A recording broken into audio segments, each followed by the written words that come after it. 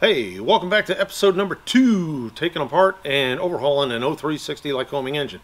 Today, we are going to be, this episode anyway, we're going to be taking apart the center section of the engine. We're going to remove the accessory case, the sump, the oil pump, um, and get everything pretty much to the point where it's individual piece parts, and we're going to be able to get this thing shipped off to the machine shop and get things going. So, definitely an episode you don't want to miss, and make sure you like, share, like, share, subscribe, notify, all that good stuff. Help us out, and we'll catch you later. Enjoy.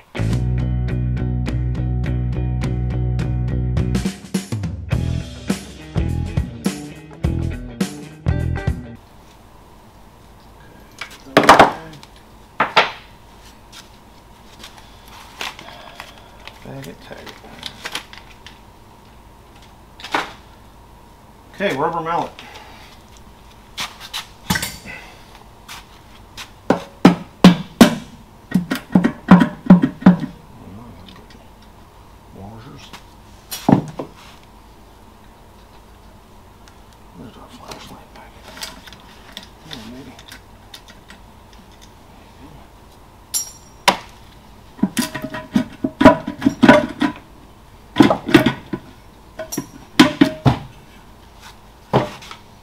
Sump is out and off. Okay. There. Boom. Boom. Boom.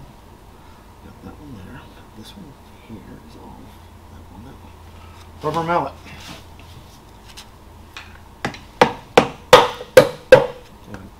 Try not to pry. Don't pry from that. Just going to come off the dowel pins. Then we have here oil pump meets with the crank. This is your fuel pump lifter rod. Your tach drive goes on the back of the cam. You can see there's a bunch of ash there. Doesn't look too bad. That doesn't. Everything doesn't really look too bad. We'll take idler gears off. Boom.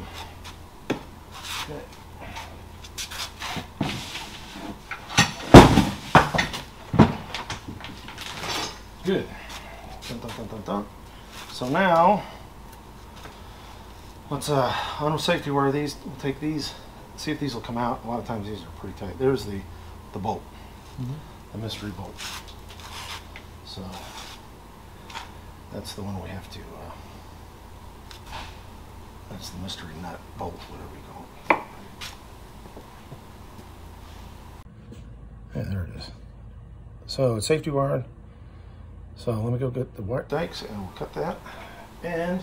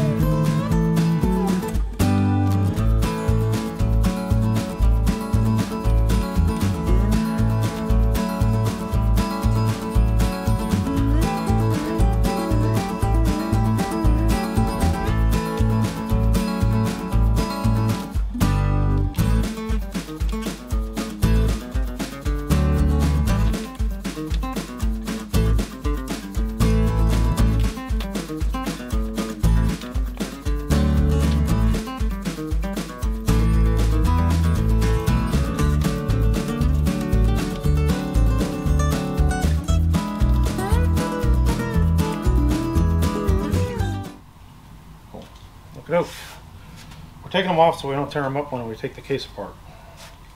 Just what we like doing.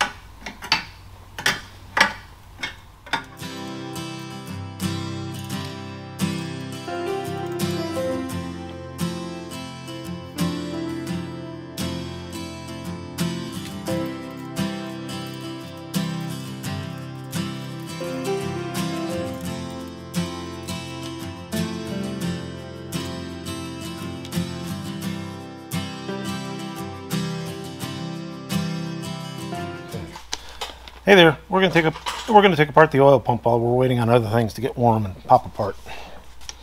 So here we go. Take the safety wire off. Actually, shame on me. I always try to take pictures of this stuff. Um, anytime I'm taking apart stuff just to see how they did it because it worked last time.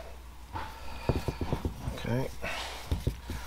Now another thing you should try to do is when you're taking apart safety wire is if you can, this is real important on larger installations, is try to take it off in one piece if you can. So I believe when I was in A&P school they said that it's real important on turbine engines. Can't tell you that because I haven't overhauled a turbine engine myself. There we go. Off. Boom. Thing, thing. Let me get the wrench. Okay, let's see how this works.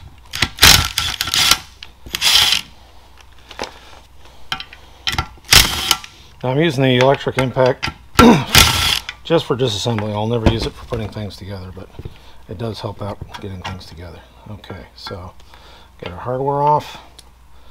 Booyah, three nuts, three washers. Then we'll flip it over. Have our idler shaft here. See a little bit of wear right here. Quite a bit of wear actually. Okay. Noted. We look inside the housing itself. And that housing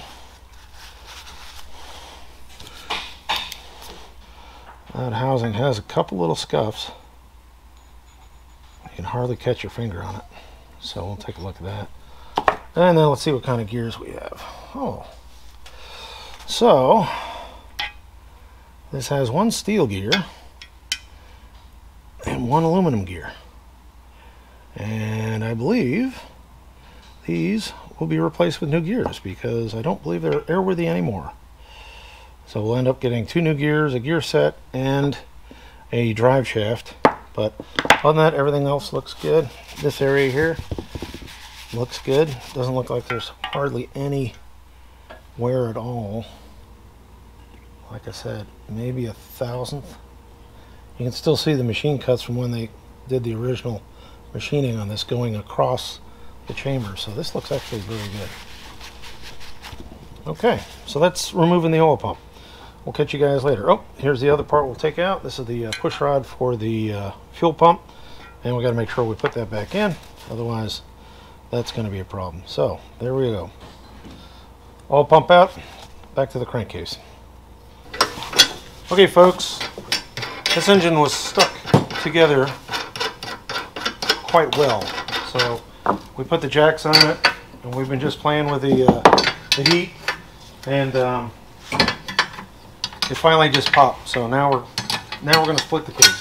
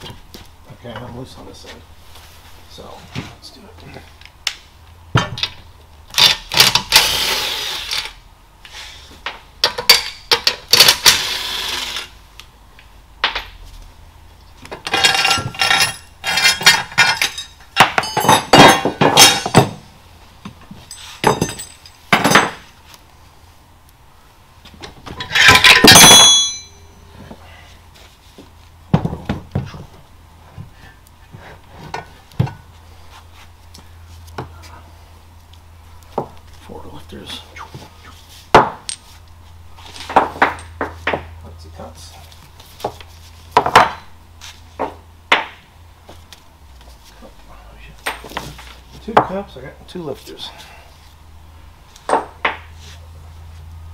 Okay, let me get this the way.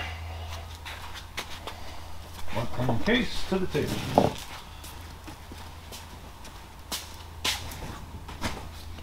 Came away.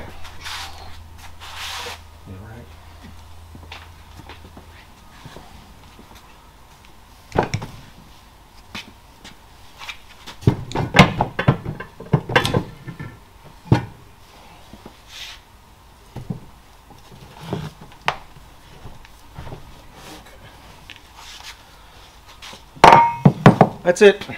Engine's apart. So everything looks pretty good. The journals all look good. These look, these almost look brand new. Bearings, a little bit of wear in the mid. Uh, let's see what these look like. Totsy tots. Hot, hot. Looks, this looks real good.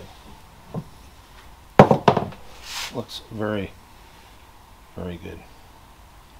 A little bit, it looks like this is, a lot of times this is an assembly debris. Mm-hmm. Those little dots. but it really doesn't look bad.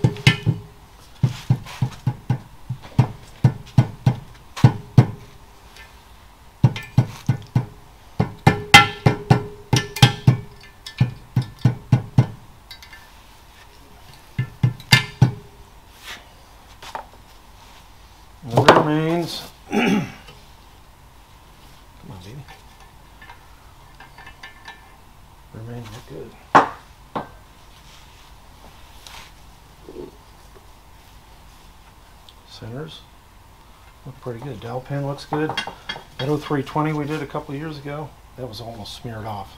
It was ready to spin the bearing, but this looks very good.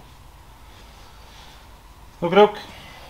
That's taking apart a O360 A4K. We're going to uh, to spend the rest of the day packing this up, getting ready to go to the machine shop, and then uh, we will get back with you when we're starting to clean up some other parts. But that's basically the uh, disassembly. We we piddled around for about an hour with the heat gun and the heat to uh, loosen up the adhesive, which has probably been here for who knows how long. But uh, this is a full TBO engine. Uh, and it looks pretty good. First run TBO engine looks very good. You pulled a string out of it? No, the string should be smashed, but it should be there. Oh, you got the string still? Yeah, the string. That's what's left over. Yep. I put two pieces on it. Yeah, it looks like you ran two. That might be factory. Who knows? We'll get the logs. We haven't got the logs on this one yet, so. Anyway, that's it for this episode of um, Engine Overhaul O360 Lycoming. See you in the next one.